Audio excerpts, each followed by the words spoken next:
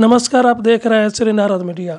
एनयूज बिहार के सिवान इकाई के जिलाध्यक्ष बने ललन सिंह निंडमणि आकाश कुमार बने महासचिव। एनयूज बिहार के सिवान इकाई का प्रमंडल स्तरीय सम्मेलन रविवार को सिवान नगर के भगवान पैलेस में हुआ। कार्यक्रम का उद्घाटन प्रदेश अध्यक्ष राकेश परवीर, महासचिव के के ओझा, सचिव मारुति नंदन, वरिष्ठ पत्रकार ओम प्रकाश अस्क डॉक्टर अशोक प्रियम्बट पांडे रमेश्वरी प्रसाद उर्फ़ छोटे बाबू सत्येंद्र तिवारी, डॉक्टर अशरफ अली आदि ने संयुक्त रूप से दीप प्रज्वलित कर किया। कार्यक्रम में जिला कमेटी का गठन किया गया, जिसमें पूर्व के कमेटी के अध्यक्ष ललन सिंह निर्मड़ी महासचिव आकाश कुमार को पुनः मनोनीत किया गया तथा अन्य पदों पर नए लोगों को मनोनीत किया गया।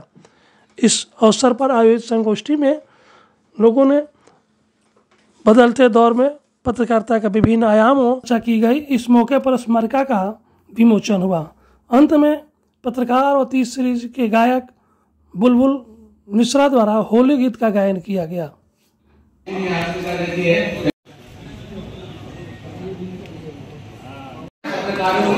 हो और उनका सम्मान की चीज़ों से वहाँ की संस्कृति से वहाँ के लोगों से वहाँ के समाज से रूबरू हो और कुछ चीज़ें सीखे।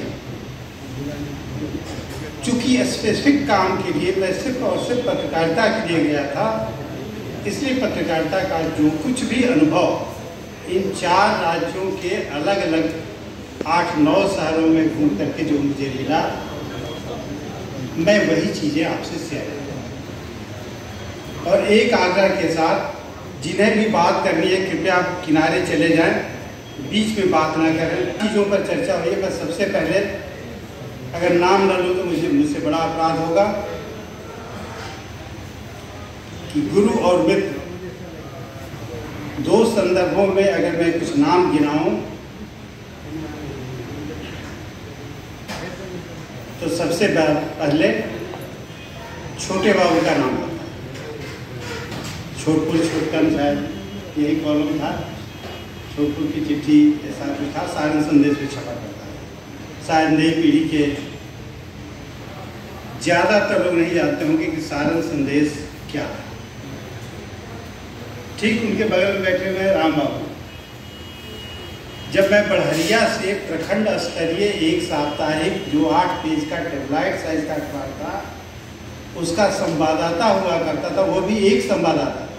एक और निज और विशेष आपको समझते रहिएगा बात तब वो सिवान से निज संवाददाता हुआ करते थे। और उनके एक और साथी, अब दिवंगत हैं, उन्हें सिर्फ़ हम लोग याद कर सकते हैं, इंद्रमणि बाबू इंद्रमणि शंकर अशोक प्रेमवत जी सम्मान पूर्वक एक साहित्यिक पत्रकार के तौर पर हम लोगों को याद उस समय, और आज संयोग से मुलाकात हुई, मेरा मोह और मेरा आकर्षण इन्हीं व्यक्तित्व के लोगों से मिलने का था कि ऐसे ही लोगों से मैं जाऊँगा तो मिलूँगा। और संयोग से धनंजय मिश्र जी भी हैं जो मेरी उम्र के उस समय रहे होंगे और आज भी उसी उम्र के लगभग हैं, वह तब राष्ट्रीय सहारा के पत्रकार हैं।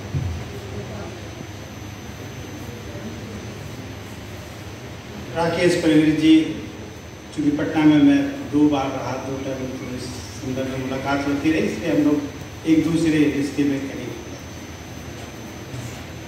और बाकी राम कृष्णकांत जी, मारुति नंदन जी, सत्यन तिवारी जी डॉक्टर अशरफ साहब अशरफ साहब से मेरी एक मुलाकात है। उनमें मुझे बेहद सज्जन लगे। बाकी पेशेवर चीज़ें मैं नहीं जानता हूँ। शिकायत हो भी सकती है और नहीं भी मुझे सबसे अच्छी बात ये लगी कि कम से कम मुझे लगता है कि एक पत्रकार को मंच पर मैं देख रहा हूँ जो आधी आबादी का प्रतिनिधित्व कर रही हैं। और इसलिए हम लोग पूरे बिहार में अपनी गतिविधियाँ चला भी रहे हैं और national union of journalist India से हम एफिलिएटेड है, संबद्ध हैं।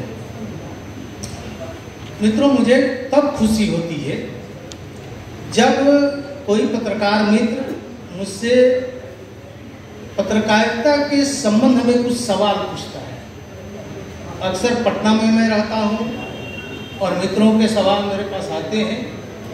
कुछ पेशागत परेशानियों को लेकर पत्रकारिता कैसे करें, किस तरह करें? मित्रों दो तीन चीज़ें जो बार बार हम लोगों के सामने आती है कि पिछले कुछ दशकों में या समय के साथ मैं बात करूँ तो 95 के बाद जब इंटरनेट का प्रादुर्भाव होता है तो पत्रकारिता के सभी स्वरूपों क्योंकि जो मित्र यहाँ या जो लोग अस्क जी वगैरह जैसे संपादक हैं, पंचानवे के पहले प्रिंट मीडिया का भी जो स्वरूप था, और उसके बाद जो उसके स्वरूप में बदलाव आया। तब भी मैं सक्रिय पत्रकारिता में था। इलेक्ट्रॉनिक मीडिया के भी रूप, रंग, आकार, प्रकार, प्रस्तुति में परिवर्तन आया। क्योंकि सत्तर के दशक में सीएनएन का जो जनक है टेड टर्नर जब ये कहा कि क्या 24 आवर्स का कोई न्यूज़ चैनल चल सकता है तो एक स्वर से पूरी दुनिया ने उसकी सोच पर सवाल उठाया और यह कहा जाने लगा कि क्या कोई 24 घंटे समाचार देख सकता है? या कोई ऐसा चैनल 24 घंटे का भी हो सकता है? तब यह हमारी कल्पना से परे की बात थी। लेकिन आज हमारे सामने एक नहीं अनेक 24 फोर आवर्स न्यूज़ चैनल। और हम चौबीसों घंटे अब समाचार देखते हैं। आपको जब सुविधा हो यह माना जाता है कि दुनिया में यूएसए का गाँव गाँव में। गलियों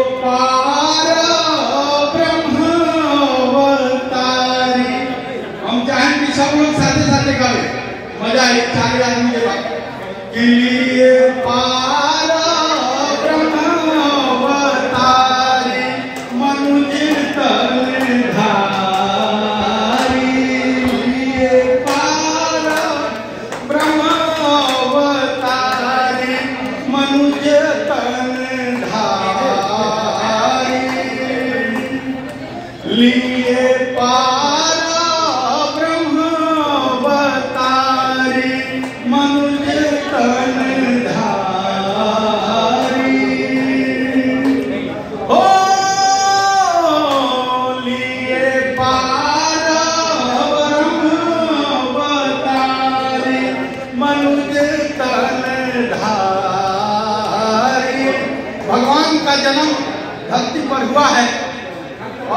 जाता है।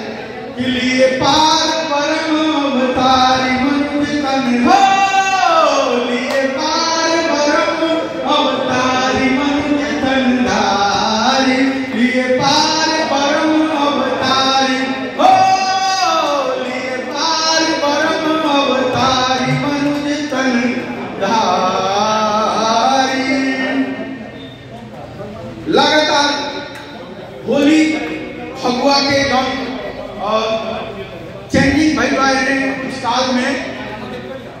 ऊपर भी, अभी भगवान श्री रामचंद्र के सारा लोग, पूरा देश मनावल फिर से अवतरण भैल माननीय मोदी जी के ऊपर भी कुछ सब गाने बोल रही प्रभु श्री राम आए हैं, संग हनुमान आए हैं। प्रभु श्री राम आए हैं, संग हनुमान आए हैं